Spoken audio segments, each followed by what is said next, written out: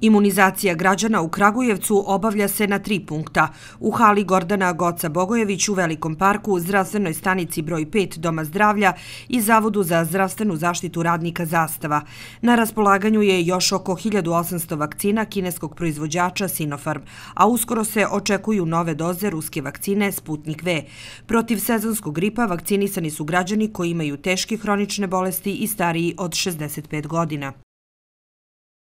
To je ono što je već tradicija u našem gradu, da svi hronični pacijenti i oni koji su stariji od 65 godina na poziv Doma zdravlja i Zavoda za zdravstvenu zaštitu radnika se izuzetno odazivaju i da su sve vakcine koje je grad preko Instituta za javno zdravlje dobio u tom periodu već date. Što znači da je najveći broj našeg stanovništva koje je opterećeno hroničnim bolestima sezonu protiv, vakcinu protiv sezonskog gripa primilo. Što se tiče aktualne epidemiološke situacije u u pogledu znači COVID-19 infekcije, krivulja polako pada, ali još uvek nema opuštanja. Broj pregleda u respiratornoj ambulanti ovaj, jedinici Doma zdravlja je takođe smanjen, ali to nije razlog za opuštanje. Još uvek je na snazi vanredna situacija i još uvek su na snazi mere koje krizni štab republički određuje na nivou čitave zemlje. Dakle, opuštanja nema. Paralelno teče imunizacija. Šumadijski okrug je dobio preko 21.000 doza Sinopharm vakcina, 啊 realizovano je negde oko 19.000 i nešto, na raspolaganju ima još 1.800 doza neutrošenih, a pacijenti, odnosno naši sugrađani, se pozivaju prema planu imunizacije onako kako su se prijavili na portal e-uprave. Sa tri vakcinalna punkta, s tim što je jedan istureni vakcinalni punkt i nalazi se u hali u Velikom parku Gordana Goca Bogojević. Imunizacija je najbolji model zaštite stanovništva od zaraznih bolesti.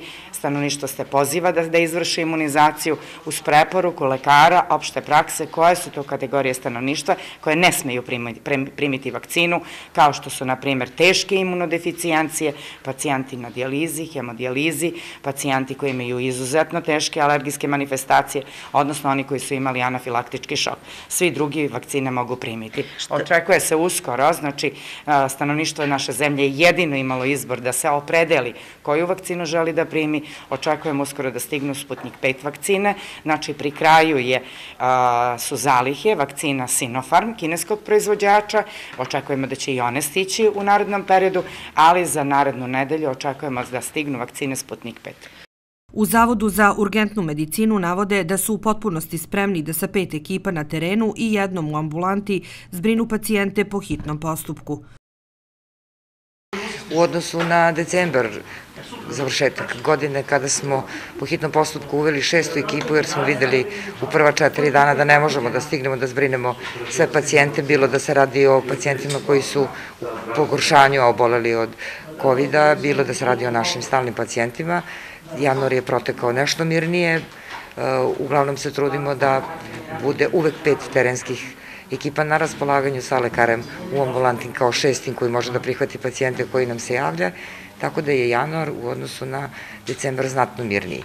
U poslednjih nedelju dana broj pacijenata koje mi zbrinemo se kreće do 120 zajedno sa pacijentima koji su pregledani u ambulantama zavoda i na terenu. Pedijatrija je znatno mirnija, naročito od kada se otvorila COVID ambulanta u okviru Doma zdravlja za decu, tako da se snalazimo za sad u ovom trenutku, možemo da pokrijemo, naravno kod nas se nikad ne zna kada će se nešto desiti, u, u, u roku 10 minuta mogu da se pojave nekoliko terena na različitim mestima sa prvim stepenom hitnosti, ali imamo dosta iskustva i dispečerski centar se trudi da se tako organizuje da uvek postoji ekipa za prvi stepen hitnosti koja će izaći u susret. U poslednjih mesec dana smanjio se broj zaraženih zdravstvenih radnika tvrde u Kragujevačkom domu zdravlja. Podsećaju da se na osnovu prijave građana planiraju zalihe vakcina koja će biti na raspolaganju. Na sreću, počeo od nove godine, imamo smirenje epidemiološke situacije u Kragujevcu, imamo prosečno od 50 do 80 novo zaraženih dnevno, ta situacija je dobra, ali je nesigurna, kao što ste rekli, zbog moguće pojave sezonskog gripa, ali dalje je prisutan virus u gradu Kragujevcu, tako da nam je potreban oprez. Pogotovo je to bitno zbog toga što istovremeno imamo i proces vakcinacije.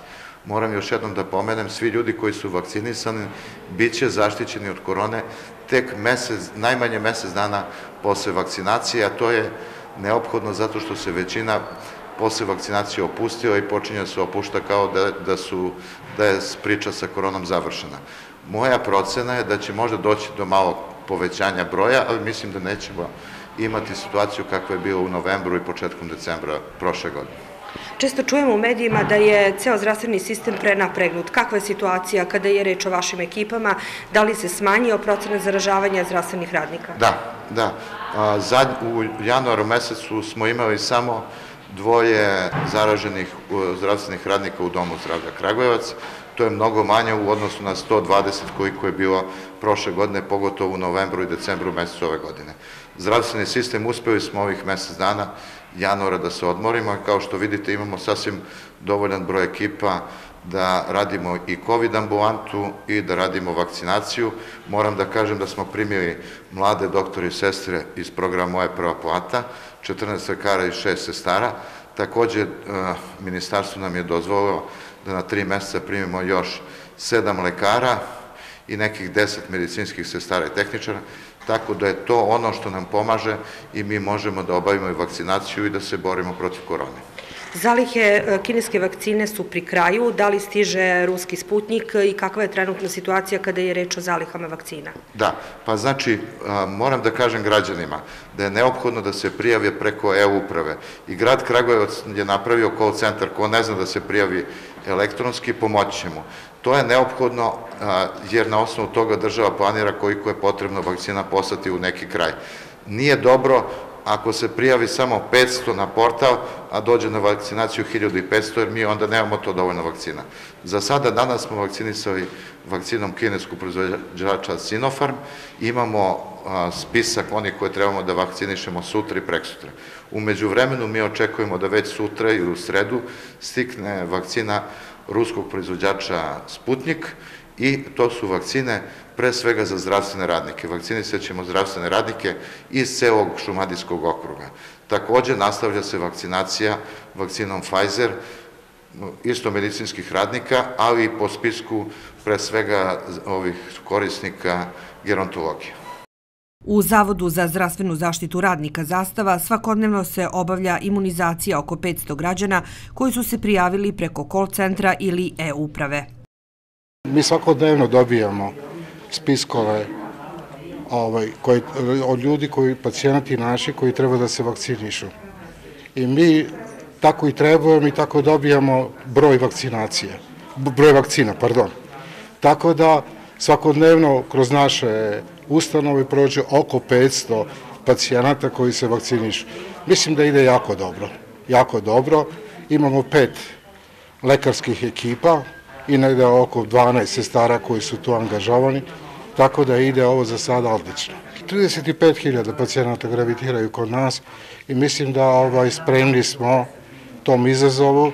Naši lekari su vrstoko stručni, to su sve specijalisti opšte prakse, mada kod nas i za vakcinaciju rade i druge specijalnosti, rade internisti, ovaj, sve ono što nam je raspolaživo i sve što možemo da, da podkrepimo, jer radi se i onaj deo opšte prakse. Mi smo ograničeni, vi dobro znate, sa brojem lekara.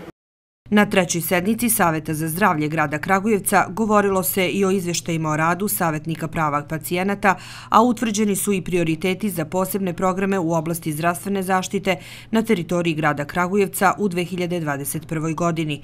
Članovi Saveta upoznati su sa načinom opredeljenih sredstava u budžetu grada u ovoj kalendarskoj godini koje će se koristiti u sprovođenju društvene brige o zdravlju Kragujevčana.